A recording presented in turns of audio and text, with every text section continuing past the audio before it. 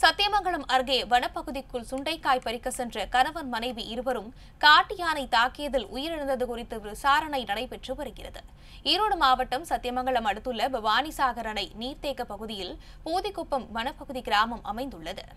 சத்தியமங்கலம் புலிகள் காப்பகத்திற்கு உட்பட்ட விளாமுண்டி வனப்பகுதியை ஒட்டிய கிராமத்தில் நன்றன் துளசியம்மாள் ஆகிய தம்பதியினர் வசித்து வருகின்றனர்.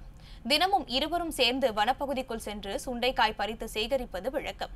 நேற்று மாலை வழக்கம் போல விளாமுண்டி வனப்பகுதியில் உள்ள வால்மொக்கை என்ற இடத்தில் இருவரும் சேர்ந்து சுண்டைக்காய் பறித்துக் கொண்டிருந்ததாக கூறப்படுகிறது.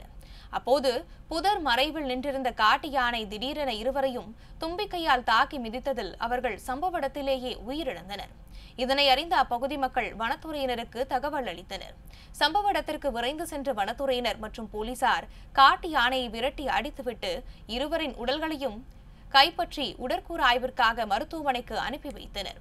கடந்த இரண்டு ஆண்டுகளுக்கு முன்பு வனப்பகுதிக்குள் வனவிலங்கு கணக்கெடுப்பு பணிக்கு சென்ற மூன்று பேரை காட்டு யானை இதே இடத்தில் தாக்கிக் கொன்றது குறிப்பிடத்தக்கது.